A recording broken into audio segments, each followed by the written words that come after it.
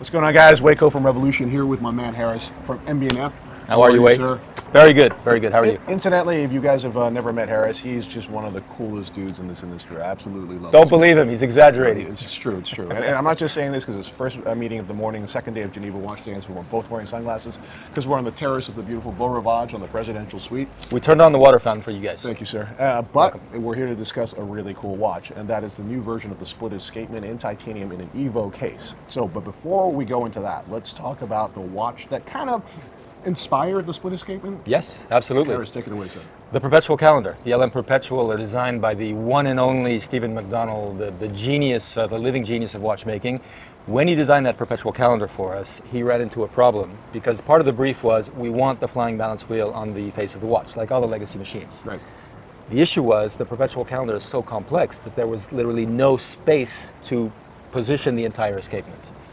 So what did Stephen do? He had this incredible idea of putting just the, the balance wheel on the front and then removing or, or moving the rest of the escapement to the back of the movement. Right. That is practically 14 millimeters away. That is not what you do at watchmaking school. It's forbidden because it's a huge distance. Right.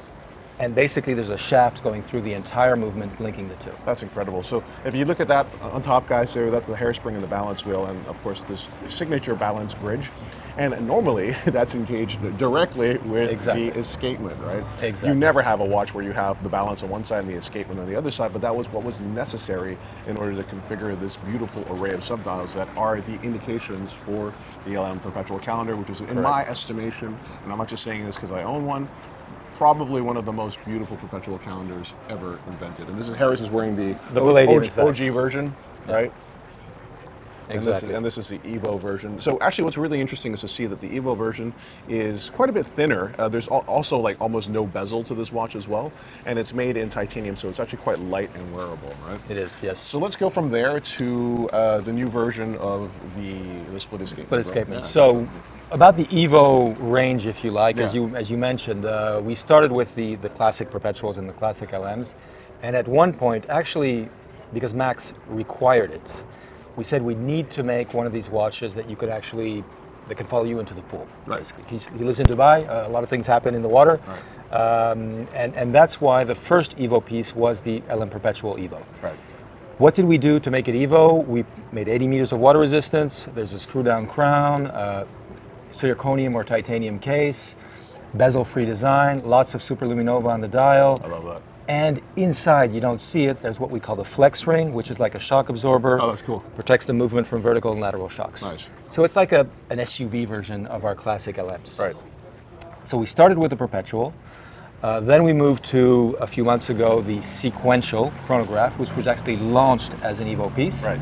That's the sequential you see right now. This watch is, is uh, also like very uh, entertaining to me because, like, I know Max has an aversion to second hands. Hmm. He does. It's, our, it's our first ever second hand. and you have two. And we have two. It's like you know, go go full blast. Exactly. Exactly. So yeah, it was I guess a way to get over that little uh, Aversion, yes, aversion to, to second hands. I love the fact that it's it's basically two chronographs in, in, in one watch, right? Exactly. Two chronographs with a single movement, of course, but you have an entire chronograph here on the right with its seconds and 30 minute counter, another one here on the left, and you can use them in a multitude of modes.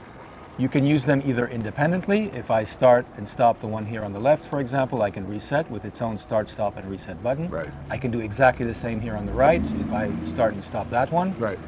But there's a fifth button here, which we call the twin inverter, which basically inverts whatever status both chronographs are in. That's cool.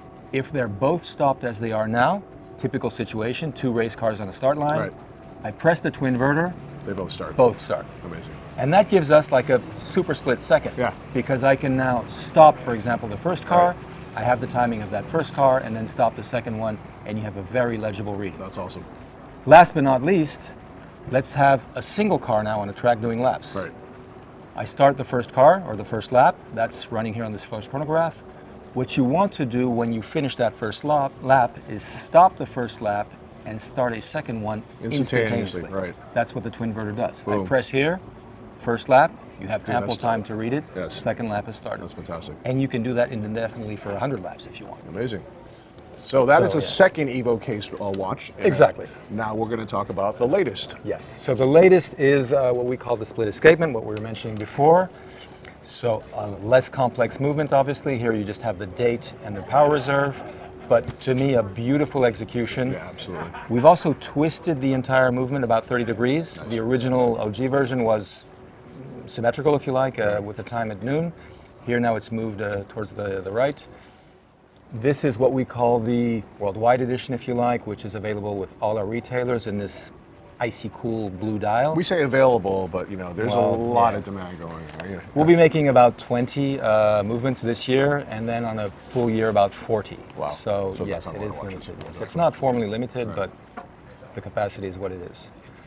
And then Uh, and then, uh, because we are also opening a number of MB&F labs, and one of the first is Beverly Hills, we have a specific Beverly Hills edition, 25 pieces in this black dial plate with metallic blue counters. stunning.